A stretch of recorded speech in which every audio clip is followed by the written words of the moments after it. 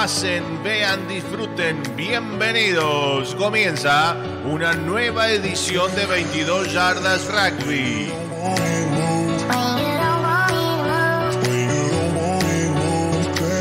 Con ustedes, una conductora multifashion que no le teme a nada, Patri Millán. Hola. Ay, qué lindo momento. Por favor, ustedes no tienen una idea lo que esperamos los lunes. Decí, decí como recién. Llegó, No, llegó el lunes. Llegó el lunes. Hoy le decía um, al eh, encargado del edificio, me iba a salir portero. Al encargado del edificio le digo, al fin, Martínez, lunes. Me dice, ¿vos sola querés que llegue el lunes? Sí, le digo, porque está a 22 yardas y se mataba de risa. ¿Cómo les va? ¿Están ahí? ¿Están ahí? Sí, seguro que sí, yo sé. Muchísimas gracias a todos por el acompañamiento de siempre. La verdad que el, programa no para de crecer, me lo manifiestan ustedes en las redes, eh, por mensajitos también. Así que bueno, chicos, nada, que decirles que pasaron para tres minutos de las 10 de la noche y nosotros nos encontramos acá llenos de energía para contarles más y mejor eh, a tantos clubes, ¿no? A clubes modestos que andan ahí luchando después de o con una pandemia que apretó, apretó bastante, pero a pesar de ello no dejan de funcionar. Hoy es eh, el programa número 12 de este 2022, el 450 en la agenda de este camino que decidimos recor- recorrerlo en yardas, ¿no? Eh, y que elegimos hacer entre todos, por supuesto, y que no pertenece a un cambio de época, sino a una época que, que cambió. ¿Quién te habla? Patri, Patri Millán. Subime la música. Bueno, chicos, ahora sí, los invito a que pasen, pero con aplausos, gritos y ovación, porque Muy vamos a presentar a Claudio, a Claudio Mozotegui, aplausos, gritos y ovación que está sonando allá. Eh, bueno, ¿cómo estás? Buenas noches y bienvenido, por supuesto. Hola, buenas noches. Eh, Bueno, un placer y muchas gracias. Eh, estamos, nos encontramos con un amigo hace fácil 20 años que no nos veíamos con, con Fabián, Qué lindo. eh, el Toto Negro, lo llamamos nosotros en el club. Y, y bueno, y la verdad que es un placer. Muchas gracias por la invitación. Por favor, tienen siempre las puertas abiertas. Y ahora sí, yo quiero presentar también a mi amigo Billy Villalba, un tesoro que tenemos en este, en este rugby querido. ¿Cómo te va, entrenador? Hola, ¿qué tal? Muy bien, estamos acá, muy contentos. Eh, vinimos a, un poco a oficiar a las cañas y a contar un poco cuál es la historia de- del club hoy en día, cuál es su, su actividad y su presente. Bien, bueno, me encanta, bienvenido y ya sabes, tenés una casa más que te va a estar esperando de ahora en más cuando quieras comunicar.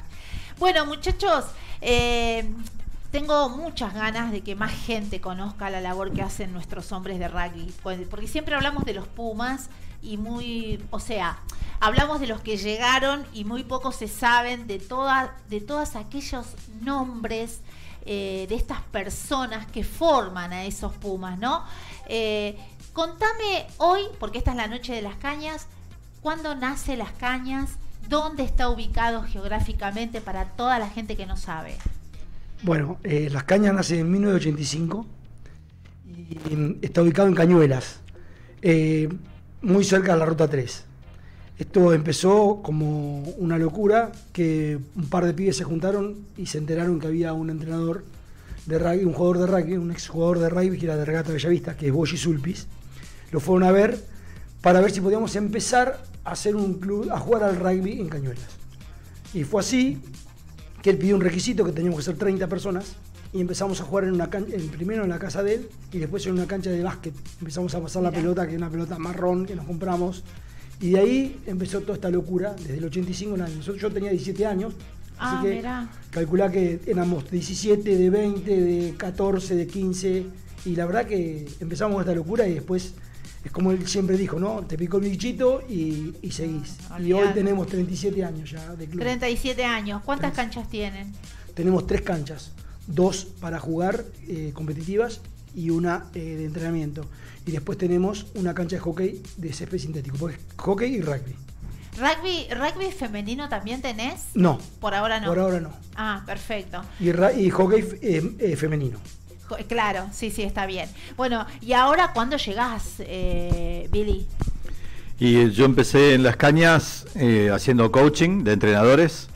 Como soy formador y educador de rugby, de la World Rugby, el club me contrató para hacer toda la parte de, de educación y formación de, de entrenadores. Ahí estuve en el 2020, como hasta que vino la pandemia, haciendo coaching de entrenadores de superior y de juveniles. Vos sos un grosso también, tenés una trayectoria espectacular. No, tengo años en el rugby, de grosso, te agradezco, pero no creo. Pero Sí, pero sos un tipo formado. Sí, me gusta siempre eh, estar cerca de lo que es la cancha. O sea, jugué desde los 14 años al rugby hasta los 34, 35. Y después entreno divisiones eh, de Pucará. En el año 83 empiezo a entrenar, haciendo jugador. Y seguí entrenando hasta el 2003, 2004, que entrené la primera, dos temporadas, cuatro temporadas. Y después, bueno, ya me fui a Don Bosco a, a entrenar. Estuve ahí tres años en Don Bosco. Y después, bueno, ya ahí empecé todo el derroteo por los clubes. Cuando- Entrena- entren- Cuando yo conozco gente con, con tu trayectoria, ¿no? También eh, contá que estuviste eh, con los Pumas, contá esa parte. Sí, yo en un comienzo estuve de con que arranca el Tano Lofreda, parte del staff, nos ocupábamos lo que era el análisis de juego y estadísticas del seleccionado, analizábamos a los rivales. Yo soy desarrollador de un programa, fui de- era el, el desarrollador de un programa, eh, ten- tenía una empresa de desarrollo de sistemas y hice un programa para poder analizar videos y sacar datos estadísticos. Bueno, y con eso me dio la posibilidad de estar con, con la lo máximo que es del rugby local, nacional, que es el seleccionado, ¿no? Bien nutrido, una persona que, que bueno, que se codeó con todo lo necesario para poder eh, seguir creciendo y trasladar todo esto eh, a, a tus nuevos dirigidos, ¿no? ¿Dónde pones el acento? Cuando encuentro un tipo como vos, lo primero que le pregunto, eh, dada su trayectoria, insisto, es dónde, qué es lo que le querés transmitir a los chicos, Y en, en realidad... mentalmente. Sí, en, re- en realidad eh, lo que uno transmite, como, lo que trata de transmitir desde el lado de- del coaching es, en principio, eh, revalorizar los valores que tenga el club. ¿sí? Cada club tiene sus valores del juego y su respeto, su disciplina y eso, eso es lo más importante, ¿sí? creo yo, para, para, para poder transmitir. ¿sí? El compromiso de los jugadores es sumamente importante y eso también creo que se educa y se, se aprende a hacer eso. Y en, y en realidad la, la educación pasa por, por los ejemplos que uno da más que por lo que uno pide. ¿sí? Entonces trato de hacer eso, ¿sí? trato de ser, eh, de, de tener compromiso con, hacia el, el plantel de jugadores y después, bueno, habilidades, destrezas y toda la historia que, que sigue a todo eso que hace al, al juego. ¿Con qué te encontraste cuando vos llegaste a las cañas? Bueno, Las Cañas, como todo club, eh, es muy similar a los clubes que por ahí estuve antes. eh, y en realidad me encontré con amigos que conocía de, desde otro- de otros años. eh, un club muy humilde, con muchas ganas de trabajar y progresar. Y eso favorece mucho a la, a la actitud que pueda tener uno como entrenador eh, eh, rentado, digamos. Y bueno, ahí no hubo demasiado trabajo para poder eh, cautivar a los jugadores, sobre todo de juveniles, y a los entrenadores a capacitarse y aprender. ¿sí? Bien. Presi, también quiero pasar por este, por esto que acabamos de vivir o que estamos viviendo, pero ahora un poco más light, el tema de la pandemia, cómo le pegó al club. Bueno, eh, nosotros asumimos, yo asumí como presidente en noviembre del año pasado. Y mientras tanto estuve entrenando hasta 2019 y, y la pandemia nos pegó muy mal. Realmente nos quedó más infraestructura que jugadores en un momento, tanto de hockey como de rugby. Entonces, eh, un poquito fue que nosotros nos pongamos eh, al frente de la comisión directiva por una cuestión que los flacos que habían estado antes que nosotros tuvieron cinco años y morfaron dos años de pandemia, que no, no es poco, dos años de pandemia a bancar el club económicamente, porque Claro. muchos eh, hubo que imple- implementar una cuota social, porque la, la cuota nuestra era una sola cuota.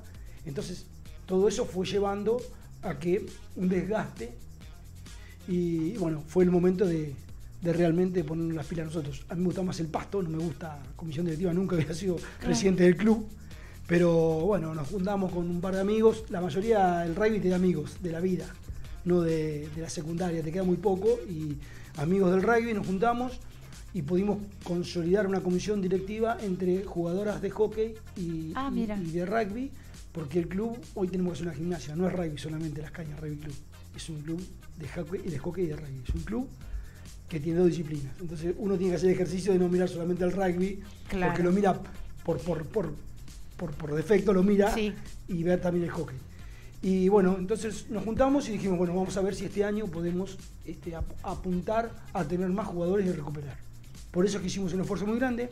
Nosotros hacemos una fiesta de disfraces anuales, anual, que lleva mucha gente y deja mucha plata. O sea, nos ayuda mucho para, Para encarar todo el sostener, año, para claro. sostener todo el año. Sí, sí, sí. Este año la, la encaramos de lleno con la comisión anterior y nosotros le metimos pila porque lleva dos años que no lo hacíamos. Los dos años de pandemia no la dejaron hacer. Y metimos un montón de personas. ¿Tiene luz? ¿La cancha te- está iluminada? Sí, sí, Perdón tenemos- por yo todavía no la dos no lo conozco. Ah, bien. Una cancha Bueno. que, que está para jugar nocturna, que tiene, tiene una luz, y una que es de entrenamiento. Y después tenemos la 1 que no tiene, no tiene luz.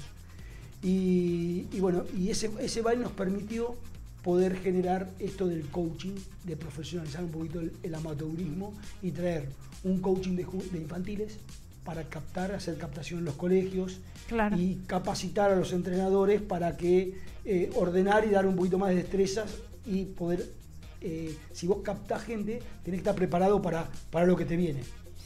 Eso y después Billy, que agarre la primera y que coache. Un, hicimos un proyectito a cinco años y que la verdad que nos está yendo muy bien. Bien, ahora abro la, la mesa, chicos. Billy, y cuando volvieron los chicos a, a- a la cancha, ¿con qué te encontraste? Porque no estoy hablando solamente de la parte eh, física, estoy hablando mental, pandemia, mental, muchos problemas. ¿Cómo, cómo volvieron los chicos?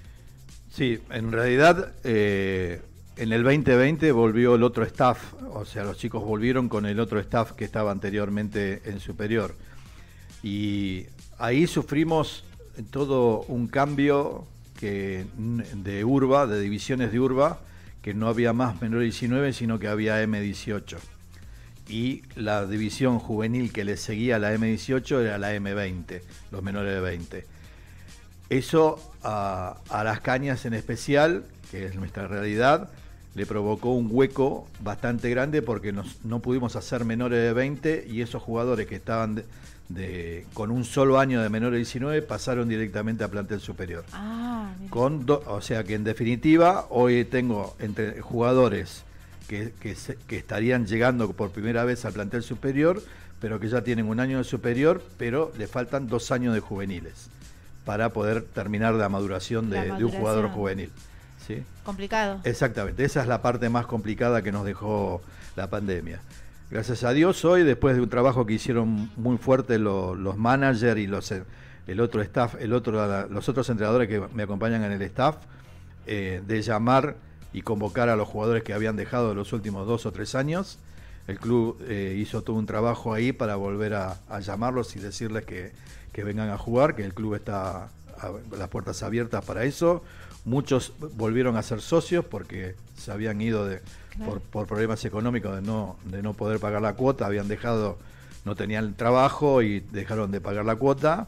Y bueno, toda esa gente hoy está en el club, lo cual tenemos por nómina 60 jugadores, pero que están normalmente entrenando 45 por ahí. Ese es el número promedio, reales. Ah, muy bien. Ahora sí, tengo gente que quiere preguntar. Y empiezo por Fabián Gijena. Bien, bien, gracias. Claudio, no te quiero meter presión, pero Delphi y Felipe te están escuchando. Así que bueno, y le cuento a la gente que está también escuchándote atentamente que estamos hablando de Las Cañas, un club que está en Cañuelas con 37 años de vida, como nos dijo eh, Claudio en el 95 se fundó. Y bueno, vos pasaste por todos los estados del club, fundador, ju- juve- juvenil, jugaste en primera, entrenaste este, tuviste en comisión y hoy sos presidente. Hace una radiografía del club porque la gente conozca más de, las cañas, más de lo que se puede ver sábado a sábado en cuanto a la competencia. Contanos eh, el ADN de tu club. Mira, eh, sí, la verdad que es, muy loco todo lo que pasó, eh, pero la verdad que, que muy orgulloso de lo que hicimos. obviamente que, que toda la gente que pasó hizo esto y hoy en la comisión directiva todos trabajan, pero hay dos personas que, son dos bestias que los tengo que nombrar, porque a veces uno no, está bueno nombrar cuando es un equipo. No, y la próxima pueden venir también, por supuesto. Pero lo que Nobleza obliga, eh, la comisión directiva es un grupo espectacular, los que estuvieron, los que estamos, todos, mis amigos que entrenaron hasta hace dos años, pero hoy, si me decís, eh, Juan Martín Herrera, y Claudio Berto eh, son dos bestias que están llevando toda la parte de, infraestructura, las reuniones de comisión las llevamos. La verdad que es un lujo laburar porque te lo tiran siempre ovalada, no es que te la tiran cuadrada, te la tiran ovalada.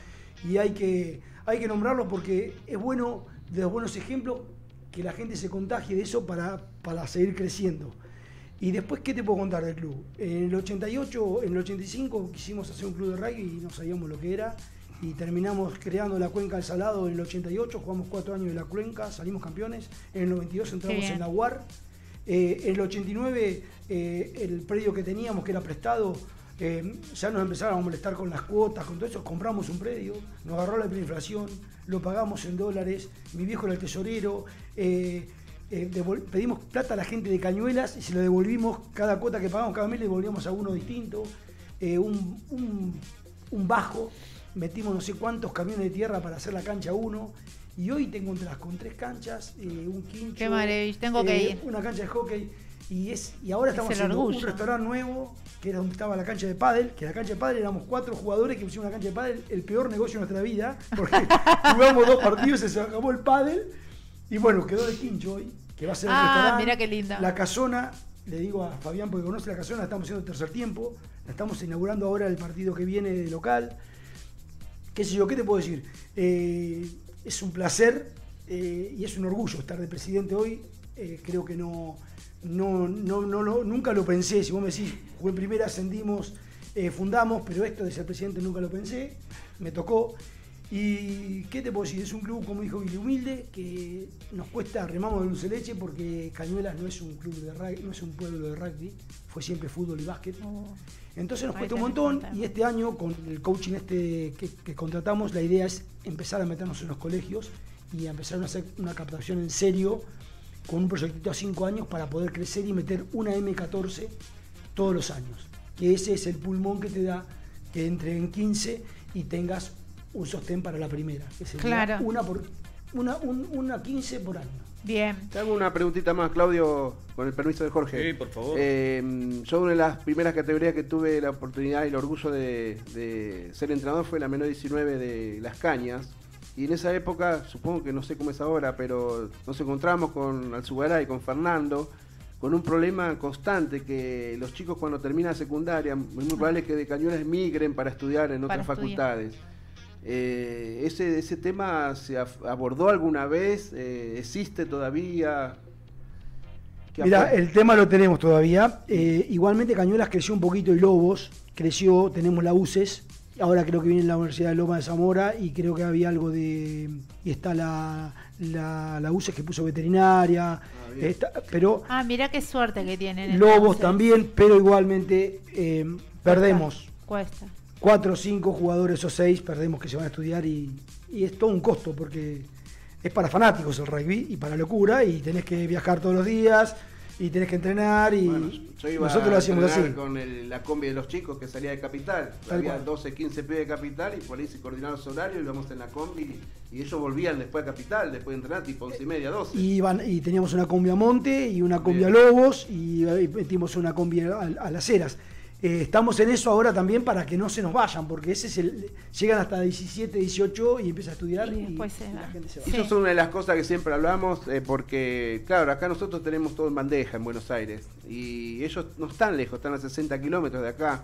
Y en el interior se debe magnificar más. Entonces, todas esas cosas las charlamos para que la gente que entienda que el rugby del interior, por decirlo de una manera, eh, tiene todas estas cosas y hay que laburar mucho y es más de lo que se ve. Entonces, por eso el laburo nuestro de volcar acá en nuestro programa todas estas cosas que no se dicen en otro lado, ¿viste? Lo que pasa es también que eh, los que jugamos, eh, creo que el rugby es un deporte, pero también tiene una parte filosófica, que es la del sacrificio, la de la camaradería, la de sí, es valores, verdad. la de humildad. Sí. Eh, amén de que esté medio eh, bajoneada la, la imagen por algunos incidentes que pasaron, no todos somos iguales. Claro. Y creo que es el sacrificio. Y hoy por hoy cuesta a veces inculcar esa filosofía, ese sacrificio a los pibes Sí. que hoy están jugando por una cuestión de que son otra generación. Justo estábamos hablando de Hoy este tema de que eso, sí. todos los programas nos estamos encargando de dar una bajada también con respecto a empezar a utilizar también el este concepto de la mesura, ¿no?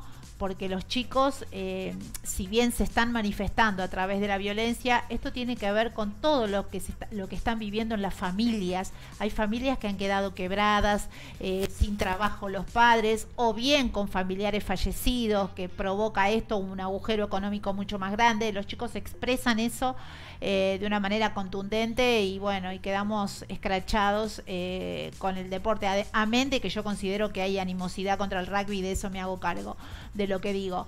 Pero bueno, más que nunca la mesura. Otra vez volvemos al punto que todos los lunes estamos tocando, ¿no? Empezar eh, a que nuestros referentes eh, antes de comenzar un partido, suelo decir yo, eh, el entrenamiento, eh, se los tenga 10 minutos sentados diciéndole, hey, ¿cómo estás? ¿Cómo estás? Onda de que los chicos también puedan expresarse y escuchar de la palabra de ustedes, hombres avisados ya en el deporte, eh, esto que necesitan, ¿no? La bajada, un poco de calma, los chicos son víctimas también. Vos. Sí, Jorgito. exactamente. Mira, quiero aprovechar porque cuando tenemos un educador y Sí, un formador de la, de la World, de la World con la licencia número 3232 como es Carlos Villalba, a la gente que se está sumando recién, para nosotros es Billy Villalba, le quiero hacer una pregunta más técnica sobre todo que tenga que ver con el rugby, que es lo que la parte que más nos gusta. Por ejemplo, nos está diciendo el presidente que vos ya tenés un proyecto más o menos a cinco años para lograrlo, pero queremos saber este ahora qué te está pasando, qué lineamientos básicos o qué características principales de juego o el plan de juego que tenés para terminar este año y cómo haces para poder nivelar esos chicos jóvenes que están in- integrando el plantel superior con los que ya están más para irse que otra cosa. Bien. El plan de, de cinco años apunta a que uno, que el club pueda monitorear de lo que hoy es la M15 a cómo le va a llegar esa, esa camada de jugadores a plantel superior. En juveniles, el objetivo básico que tienen todos los entrenadores es la- las habilidades y las destrezas. Los chicos son monitoreados y, se lleva estadísticas sobre el tema de habilidades y destrezas que se sacan en, en la cancha. No nos importa tanto eh, el resultado, sino la preparación y la mejora del jugador como, como, como persona y como jugador de rugby. Mejor persona, mejor jugador de rugby. Es el lema que tenemos con juveniles. El superior también sigue la misma historia, eh, pero este año lo que, lo que hicimos con el staff es trabajar en la planificación de todo lo que son los entrenamientos. Hay entre 20 y 30 minutos que se dedican a la parte de habilidades y destrezas. Lo cual no le viene bien, no le viene mal a los más grandes, ¿sí? sino que le- les viene bien también. Y, y a los más chicos, a los más jóvenes, que son sus primeras armas en plantel superior, los va a nivelar para los partidos. Y con referencia a lo que es no, no, yo no manejo lo que son planes de juego, sino una organización defensiva y una organización eh, de ataque. Y, de- y dejo librado en plantel superior eh, al jugador que tenga su, su trabajo espontáneo en, en el juego. O sea, que aprenda a jugar. O sea, hacemos mucho hincapié con el staff de que el jugador mire al contrario y actúe en base a lo que ve del juego y no que sea un autómata de un robotito que lo único que hace es seguir al pie de la letra el plan de juego que, que propicia el entrenador. Eso tiene que ver con la toma de decisiones. Los Exactamente, que exactamente. empiecen ellos O a... sea, las tomas de decisiones se entrenan, se entrenan en, en los días de entrenamiento, se entrenan, se- y, pero los entrenamientos de la toma de decisión son con, eh, con, act- con acti- para que tenga la actitud de lo mismo que le pasa en el partido, ¿sí? con la misma presión, con la misma exigencia y todo lo demás. A que se equivoque en el entrenamiento para que después tenga una buena decisión en la cancha. Pero lo que más hoy en día cuesta, que ahí me hago cargo porque todos los entrenadores fuimos así y yo hace muy pocos años que empecé a cambiar un poco el tema de cómo entrenar, de que los jugadores no miran lo que pasa enfrente. ¿sí? O sea, vos haces una jugada o un movimiento y el jugador lo hace en forma automática sin mirar lo que le pasa al contrario. Por ahí al contrario, se patinó, se cayó, no pase la pelota, tenés todo el, el espacio para ir a atacar. ¿Se entiende? Sí, clarísimo. Entonces, eh, esto es lo mismo. eh, y siempre hago el mismo ejemplo. Estás jugando al pádel, por ejemplo, si los, los dos rivales que tenés enfrente se vienen a la red, ¿qué vas a tirar? ¿Un, un shot eh, violento? No, vas a tirar un globo. Y si están en el fondo, vas a tirar más cerca, para cerca de la red, para que les sea difícil. Claro, ¿Se entiende? sí. O sea, eso es lo que te lleva. Y muchos años nos- los entrenadores hemos caído en, por, por el afán de, de, de mostrar eh, y mejorar el juego en hacerlos autómatas, de que no miren lo que pasa. Y yo prefiero que trabajen y que se equivoquen en la cancha. Sos súper analítico por lo que veo. Sí, Mira vos. Y eh, autocrítico, quiero, ¿eh? quiero seguir gusta. con el tema ese Sí, porque hoy todo el mundo habla de sistema de juego, que Sí. está de común la- eh, esos términos. Y hoy venimos con un planteo distinto a lo que se viene escuchando ultimo- eh, últimamente, ¿no? Eh, ¿Dónde nace esa actitud de decir, eh, libero, libero, me hago fuerte en la defensa, libero la, la decisión del jugador, cómo voy a jugar este partido? Puedo entender que un partido de las cañas, por ejemplo, que jugaron con San Miguel, que ganaron de visitante, a que perdieron ahora con fue un juego distinto. No, O sea, no. el de- para, que la gente lo entienda, el, de- el que está enfrente te condiciona cómo jugás. Sí, sí. Eh, a ver, no- eh, nosotros tratamos de que el, en, en todas las divisiones, ¿no? El, el que, que el rival eh, haga cosas para que nosotros podamos usufructuar el, el ataque y no nosotros hacer un ataque en base a lo que hace el rival. ¿Se entiende lo que digo? Sí, De, sí. que- de lo que el rival me deja. Pero eso es un proceso, o sea, por ahí los primeros Es un minutos vos no proceso, sabés a qué es vas a un jugar. proceso, es un Tenés proceso- que- es como el boxeador, los dos primeros Exactamente. estudiás. Eh, muchas de las cosas que les muestro por ahí en los videos es que no vieron lo que pasaba de enfrente. No veían dónde estaba el espacio, que por ahí no estaba el fullback, el fullback estaba marcando afuera también y no teníamos fullback atrás. Entonces ahí se acaba lo que vos planificás, Sí, sí. jugás con el pie corto por arriba, los centros avisándole. O sea, pero que no sea una decisión propia de, la apertura. Tiene que ser algo que lo pueda ver el apertura, pero que también lo vean los centros. Mucha Y comunicación. también lo vea el 8. Mucha comunicación O sea, es conocimiento sobre el juego. Eh, te- eh, yo, hay una sola palabra. Los, los chicos, los jugadores dejaron de jugar. ¿Sí? ¿Se entiende lo que digo? O sea, no, no miran lo que pasa enfrente y no están jugando con- contra, contra vos. Entonces toman el, el mismo plan de trabajo y de ejecución. De manera no, automática. No importa quién es el jugador que está enfrente. ¿sí? Mm. Eso aprendí muchísimo eh, escuchando y viendo cosas de las clínicas de neozelandeses. ¿Lleva tiempo en proceso ese, como para decir, eh, Y mi sí, club juega y igual? sí, porque lo que más tenés que hacer hincapié es en el trabajo de juveniles Claro, para que el jugador que llega a- al plantel superior tenga ya formado todas sus habilidades y destrezas. Claro. Tacle, pase, kick, juego en el piso, eh, todas las cosas que hacen a, a los duelos, ¿no? A los uno versus uno. Sí, ahí toma fuerza lo que vos decías que en juveniles eh, lo importante es la destreza. Lo importante es las destrezas y las habilidades. Después, el resultado es, un- es una anécdota. Sí. Si, si hay mensajes, me los van diciendo. Ahí se los leemos. Le quiero hacer una consulta más. Ya aprovechémoslo, ¿no? Sí, obviamente. Y le quiero decir a Billy lo siguiente, eh, el plan ese, el- o sea, la forma de jugar que vos te estás explicando, significa que en toda la cancha le das esa libertad, o sea, en una zona roja de defensa, en una zona amarilla de creación, una zona verde de ponerle, ponerle de, de definición, vos lo dejás que en toda la cancha, o, o, por ejemplo en defensa ya tienen un plan básico como para poder, eh, o unas ideas básicas para poder tener una defensa. Lo importante es que el jugador entienda lo que, lo que es eh, conveniente para la situación en el lugar donde está. Se le advierte, se le dice que un error en 22 propias puede terminar en un try en contra y una, una mala decisión en las 22 contrarias puede ser que no, no hagamos, no, no podamos hacer un, ta- no podamos tener un tanta. ¿sí? ¿Cómo ves la ley 2250? ¿Cómo? ¿Cómo ves la ley de juego de la 2250? La, eh, Decirle a a la gente que es la Sí, 2250, la que es la que estuvimos la hablando el lunes claro, pasado. era de que cuando Sí. un jugador en su cancha recibe la pelota, tiene la posibilidad de patear la pelota y que salga picando dentro de las 22 contrarias. En ese caso, eh, no- antes de la ley, era eh, line para la, la defensa. En este caso es, si yo aprovecho esa pelota y hago que pique en la 22, es line para mí, es una posición de ataque.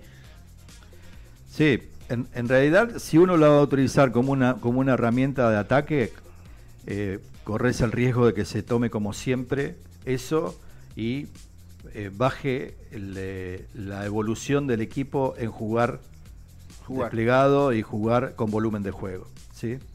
Eh, hay que tener mucho cuidado con, con la regla. La regla. La regla está buena. La regla está buena. Hay que saber Lo, lo mismo, lo mismo que la salida Sí, con, kick. con- con El drop. el, el drop, el dropping goal. Eh, está buena. Eh, lo que pasa es que no tiene que ser la, la manera de jugar. ¿Está? Claro, no, justo se lo preguntaba, le comento a la gente, le cuento a Patri y a Fabián, porque Billy es un fanático del juego desplegado, ¿no? Entonces, bueno, en esta oportunidad, si van a estar pateando la pelota continuamente, vamos a anular esa parte de, como dice él, si la gente se acostumbra, si el jugador se acostumbra, si tiene el chip de patear, vamos a perder esa oportunidad de sorprender jugando y abriendo la pelota. Como dice Billy, viendo enfrente a qué tenemos, ¿no? Pues si tenemos todos los jugadores concentrados en un lado y pateo, me pierdo la oportunidad de atacar por ese lado. Bueno, Eh, el- una vez en una, el Beco, voy a hacer una referencia al Beco Villegas. Beco Villegas, sí. Eh, una vez hablando de esto de rugby en los terceros tiempos de juveniles, sobre todo, el Beco entrenaba una menor de 19, eh, dijo una cosa que realmente a mí siempre me quedó. Hay que, hay, que, hay que recordar siempre que los jugadores lo primero que hacen es patear una pelota desde chico. Entonces, eso es, es una, una destreza que ya la tienen totalmente incorporada. Incorporada. Y es donde realmente tienen su, su, su ¿cómo se llama? Su, su zona de confort pateando la pelota. Y aparte, la segunda es que te está sacando de, enci- de encima la responsabilidad de tener la pelota, porque hay 15 tipos enfrente que quieren lo que vos tenés en la mano. exactamente. Entonces hay que tener mucha... eh, Él decía por eso, porque decía, me encanta cómo juegan las juveniles de Pucará, que juegan y juegan y juegan y siempre están pasando la pelota. Es decir, bueno, y decía eso, eh, eh, siempre se basaba en, fa- en, eh, ¿cómo se llama?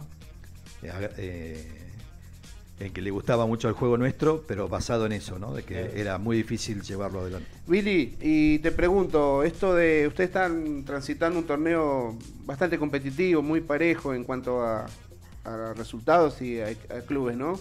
Eh, ¿cómo, ¿Cómo armás la, el- la semana y el próximo partido? ¿Estás muy pendiente del otro equipo o mantenés eh, el trabajo que vos definís así de, de jugar, de jugar a jugar? No, nosotros tenemos una planificación mensual que está consensuada con todo el staff y sobre eso lo que se hace, entrenamos lunes, martes y jueves. Los lunes está más hacia- abocado a la parte de física o recuperar algunos que estén golpeados. Los martes es físico y técnico también, eh, pero de grupo, o sea, se hace scrum online, dependiendo de lo que sea. Y el jueves ya hay menos físico y se trabaja sobre el partido.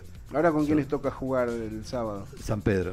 ¿Y ya estás viendo qué, qué trae San Pedro o lo pasás a un segundo Sí, plano eso? Y, Me falta, me faltan tener los vi- Yo estoy acostumbrado a tener los videos de los contrarios. Y ¿sí? se Con los videos. Porque claro. tener los videos de los Claro, contrarios es como sí, que te metas. ficha al toque. Es como sí. que te metas en el placar del Claro, vecino a ver, a ver toda la ropa que tiene. Ahí sí, no, Sí, ahí ¿se está entiende? todo expuesto. Hay mensajes de la Sí, gente. sí, acá tenemos, mira, Sí. gente, la gente nos está mandando mensajes en el Facebook. Por ejemplo, José Luis Petrucci dice, saludos, muy buenas las entrevistas desde Casero 3 de febrero con Liceo Militar a todas partes. Ah, y mira qué después acá tenemos un mensaje para Billy Villalba que dice, Daniel Alberto Saninetti, saludos a Billy, estuve compartiendo con él cuando estuvo en el 2009 en Don Bosco, un maestro, conocí las cañas cuando fui a jugar en veterano Don Bosco con los ocelotes y fuimos muy bien recibidos. Los ocelotes, saludos a ocelotes, sí, Billy, mirá tenés también. hinchada, de Cañuelas están Sí, escribiendo que mucho. Vamos mucho. Billy, Oscar Sanabón es uno ¿Tenés eh, mensajes punta. de Instagram también? Sí, los Nombrate- mismos, eso. Ah, Todos están halagando a Billy. Ah, Debe ser que bien. implementó un sistema distinto al que veníamos acostumbrados en De- Ascaña, de- parece. después pasame, pasame ¿Quiénes los, son? los datos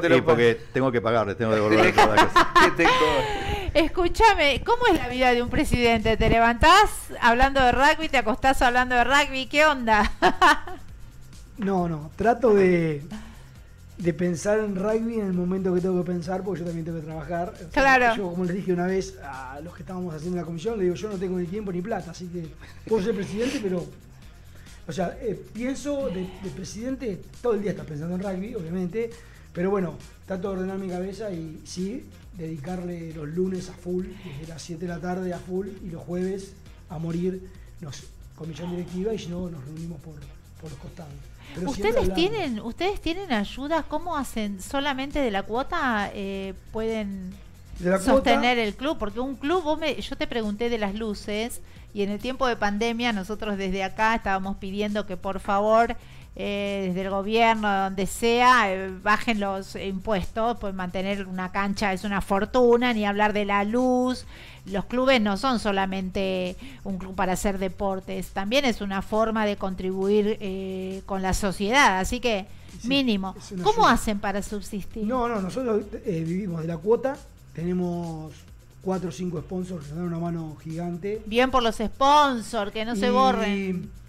Y la fiesta de disfraces. Ah, que hacías referencia. Tremendo para Bien. todo el año.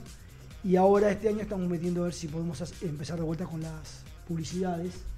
eh, Bueno, en auspiciantes. En las canchas, que Bien. habíamos dejado de hacer por una cuestión de que también, viste, por ahí la gente a todos se les complica. Claro. Te pagan uno o dos meses y después, viste, es como que se complica. Entonces la idea es ver si podemos eh, de a poquito em- empezar a, a tercerizar un poquito el tema de las publicidades, dándole otras opciones.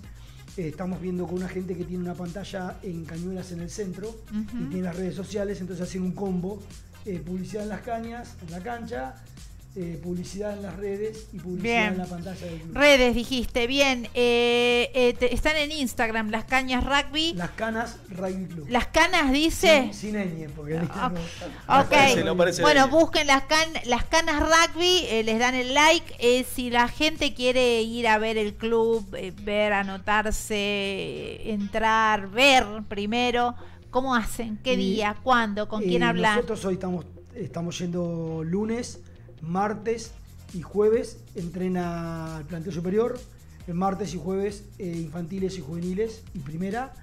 Y hockey también, martes y jueves. ¿Cuál es la población general del club? ¿Qué cantidad? Nosotros Más o menos. Aproximadamente estamos en 600 socios, entre 500 y 600 socios. ¿Y antes de la pandemia tenían más? No, los socios se borraron.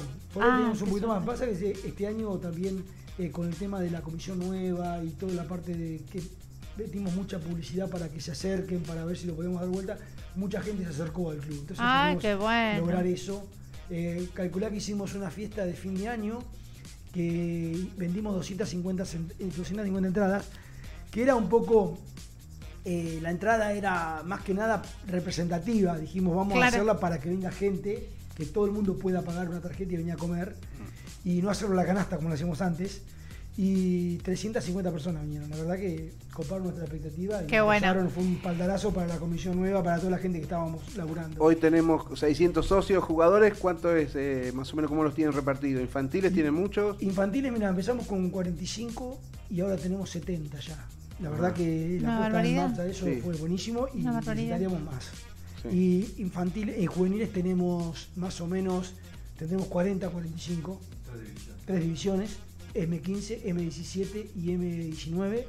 Y el plantel superior estarán los que dijo Billy recién, entre sí, 60 andando 60 en vuelta y lista, 45 40, entrenando. 45 firmes. Pero bien, viste, nosotros siempre medimos el crecimiento de los clubes. Sí. Un poco, yo personalmente, por lo que es infraestructura, yo cuando estuve con ustedes, estaba la cancha 1, la cancha 2 que entrenamos y un rincón más que tenía luz y nada más, el vestuario como siempre. Y hoy estás hablando de tres canchas de rugby, una cancha de hockey sintético. Vi fotos del, del, del- del tercer tiempo nuevo. Este, a veces parece que es dispar el crecimiento, ¿no? Porque jugadores obviamente te faltan, pero la infraestructura está y eso habla, habla de un cariño de la gente por el club. Contanos un poco eso, eh, dónde- Sí, cómo se mantiene eso, porque hay que construir, es como construir una casa. Uno en la vida hace una, dos casas y, y- y para ahí, eso es hacer un club. Hoy nosotros tenemos eh, unos sponsors que es este Cocatra, Fernández, es, es, eh, eh, perdón, Echever, que es una, una compañía de seguros, eh, una compañía, un corralón de materiales, que es Curto Martin, y tenemos Sanitarios Cañuelas, Cocatra, y no me quiero olvidar de ninguno más, y mucha gente que nos col- colabora de ese lado. y eso nos ayuda a que si necesitamos club, claro, para, para hacer cosas eh, de mantenimiento, directamente lo cambiamos por esa publicidad que nos da. y, y gente que paga la cuota y, y gente que ahora se está acercando a ayudar y a colaborar también con, con el, con el trabajo, ¿no? Porque Eh, por ejemplo, mi primo, que es arquitecto, nos está dando una mano en toda la parte de, de edilicia y nos está dando ideas y, y, lo hace de onda. Sí, cada uno aporta con lo mejor Con lo que mejor tiene. Que tiene. ¿Vos querés decir algo, Sí, le Jorge? quería hacer una pregunta al presidente. Esta, esta es la segunda vez que el Club Las Cañas tiene un entrenador fuera de lo que es el club, ¿no? ¿Y qué significa para ustedes tener a un formador de la World Rugby y un educador como es Billy? Sí. ¿Qué significa para ustedes? Esa es una pregunta. Y la segunda es, queremos saber cuándo es el baile de disfraces, porque vamos a ir de Batman y Robin, seguramente.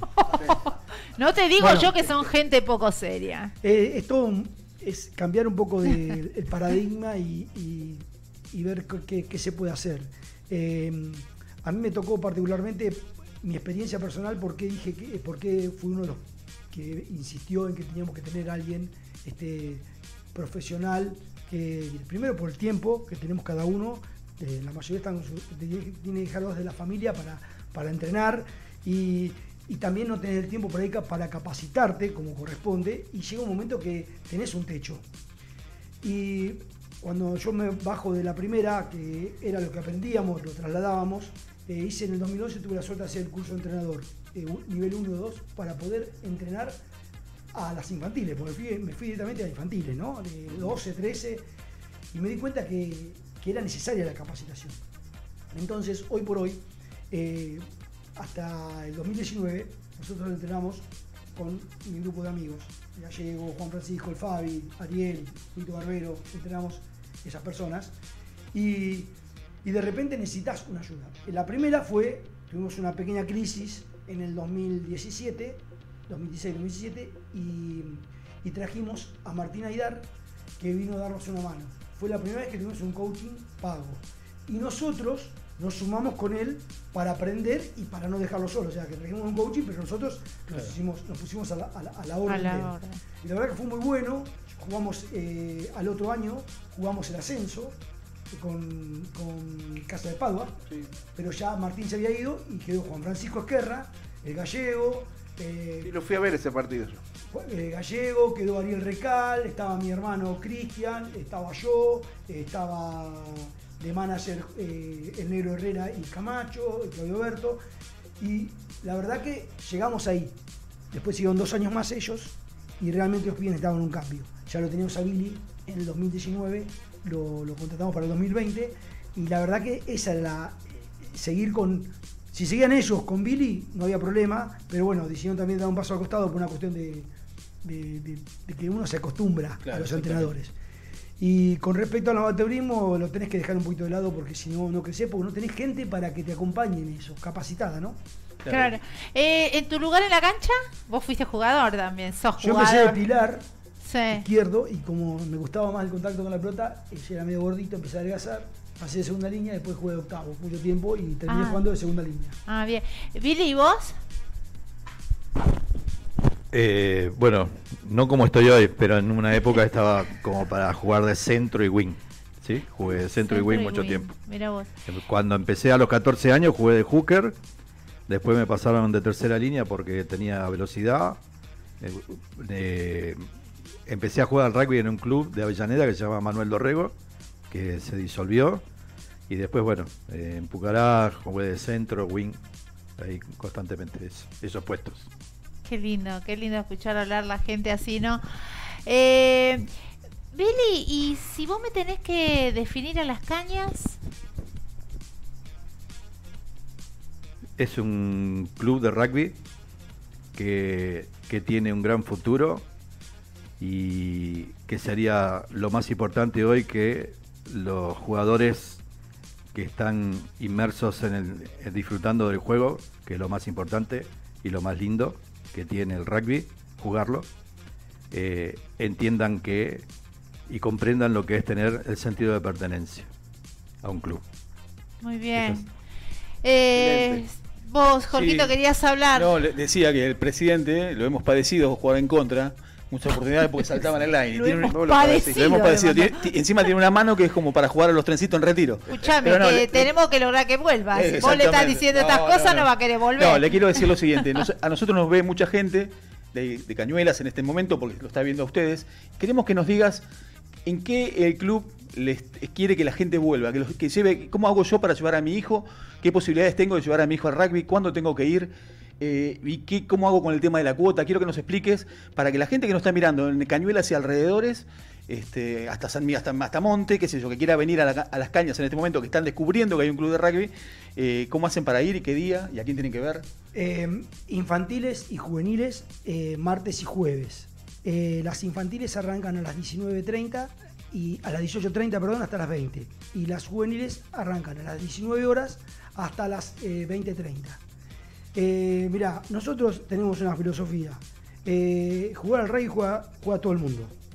Si no tiene dinero para pagar la cuota, juega igual. Esa es la consigna que así se fundó el club y, y lo tratamos de, de continuar. Siempre y cuando hablemos, demos la cara Claro. y digamos, mira, no puedo, realmente la necesito, te, va- te becamos media cuota y si no, algo por el club. Lo mínimo que te pedimos es que vengan a entrenar martes y jueves, seas el primero en ir, en, llegar y el Y último, el en ir. último en ir, Y tratar de colaborar Está en las cosas básicas del club, que todo club necesita cosas básicas. Claro, para- por supuesto. Claro. Y, y después la primera, que entrena a partir de las 21 horas hasta las 23, lunes, martes y jueves. Nosotros hicimos una obra puesta en- en marcha de que las dos primeras cuotas no, no se abonan para que la gente venga, conozca Claro. el deporte, juegue Correcto. y si le gusta. Se enamore se un poco, claro, bien. Bien, bien. Rolando Bueno. Olmedo nos escribe en Instagram, les manda saludos a toda la ¿Quién? gente de las cañas, ¿Quién? Rolando Olmedo, a toda la gente de las cañas y bueno, los tres Auri, Auri verdes que estamos acá en el estudio. Eh, bueno, Claudio, la verdad que muy interesante todo lo que nos contás. Yo en parte sabía todo, ahora la gente conoce más de las cañas. Yo tengo mis palabras de agradecimiento siempre. Mis hijos empezaron a jugar rugby en tu club. Yo tuve la suerte de conocerlos y también jugar muchos tiempos, así que bueno, me llevo siempre los mejores recuerdos y siempre estoy atento a lo que hagan. ¿eh? Y lo que necesiten estamos acá. Bien, escúchenme una cosa. Eh, operador, ¿te bancás un ping-pong? A ver, es, me salió así, porque tenemos dos grosos hoy en el estudio, si estamos hablando con la gente de las cañas, el presidente, y nada más ni nada menos que el entrenador, Billy Villalba. Eh, un placer, eh, nos, nos vamos a volver a ver porque en realidad hay mucho más por hablar. Yo no sé si se dieron cuenta cómo pasó la hora, tengo un montón de información que pasar, pero fue eh, la verdad re lindo conversar con ustedes, posta, eh, en serio. ¿Están escuchando el ping-pong? A ver, subímelo, dame un poco de retorno. Acá, A ver. A ver, a ver. Ahí está, esperen, chicos, allí en Facebook, en Instagram. Ahora sí. Yo les voy a decir una palabra, vamos a ir cerrando la nota. Eh, vamos, yo les voy a decir una palabra, ustedes me contestan con una sola palabra, no me hagan trampa, ¿ok? No una frase, no una oración. Empezamos. La cancha. Hermosa. Pero ponete el micrófono. Hermosa. Los botines. Correr. El vestuario. Un templo. El bolso. Y el ruido del cierre cuando se abre. Estamos listos. Las H's. Eh, todo. La camiseta. Un corazón. La ovalada. Una pasión. Billy, el tercer tiempo. Lo mejor. Aplausos, gritos y ovación para ellos. ¡Qué placer! Bueno, chicos, así cerramos esta charla maravillosa, esta entrevista de lujo que tuvimos aquí, presentándoles más gente que todos los días escribe una página más en nuestro deporte. Como les digo siempre, protejamos el ADN de nuestro deporte, mesura en estos tiempos, de nuevo y mil veces todo el tiempo basta de discusiones, basta de peleas, basta de situaciones incómodas, tratemos de cerrar la boca, de controlarnos, porque de eso se trata nuestro deporte, ¿sí? De la mesura también, vamos a ponerla en primer lugar. Eh, decime, Sí, primero quería hacerte un obsequio. sí, ¿me lo alcanzás? Eh, Y- Es una, perdón, operador, pero Perdone, y sí, después- pero tiene que salir. Eh, quiero saludar a mis hijos porque si no me matan. ¿Dónde? ¿Cuáles son tus hijos? Felipe ¿Dónde? y Delfina e Inés Felipe que y estaban Delfina, escuchando. Felipe y firme Delfina. Muy bien. A ver, esperen, ¿eh? Esperen acá. Sacalo vos. o, o Billy, ayúdalo. Ahí está. Miren, esto va, va a estar Es acá. eh. esto, ¿no? Es un pequeño presente. Es divino. Pero bueno, es un. Mira las cañas, ahí, ahí lo saca. amistad, Bueno, ¿no? mucho. Y de compartir. Ahora estaba medio complicado con el tema del COVID y del mate, pero bueno, nosotros lo seguimos. No importa, yo no les convido a ellos. Muchas gracias, bien, muy bien, muchas gracias. gracias. De, la- de las cañas, miren qué lindo. Bueno, nada, a mí me pasa, eh, se me cierra la garganta rápido porque a mí me emociona. Yo sé lo que significan todas estas cosas. Ustedes ven ahí que yo las respeto, las quiero. Para mí esto es lo que me queda. Eh, les agradezco en realidad todo lo que hacen por el deporte. 22 trata esto de, de- de- de contarlos a la mayor cantidad de gente de una manera profesional para que se sientan orgullosos también de este programa que los abraza. A vos, Billy, un placer también. Gracias. eh, Sí, yo quiero agradecer, gente- si me dejas un segundo, a todos ustedes, porque he escuchado este programa varias veces y, siempre, siempre ha tenido el mismo espíritu de reflotar y de presentar lo que es el rugby de desarrollo, del ascenso de segunda, de que muchas veces no, los clubes no tienen la posibilidad de, de transmitir sus cosas, sus valores, no solamente sus necesidades, sino sus logros. ¿sí? Y bueno, y, y hay que, siempre, siempre digo lo mismo, eh, hay que pensar que todos esos pumas de bronce que hubo eh, en, un, en un momento en, en la Argentina, muchos son jugadores de, de segunda y de ascenso, ¿sí? Sí. que formaron, lo formaron. que los formaron ustedes. Estos son los hombres que por los que saca la cara a 22.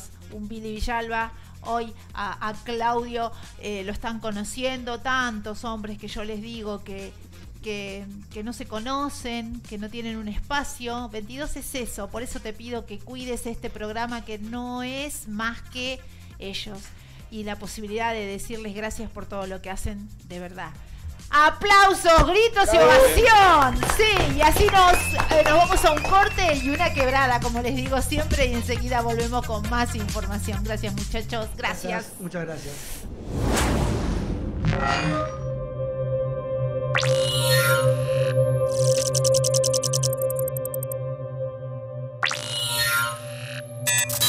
Thank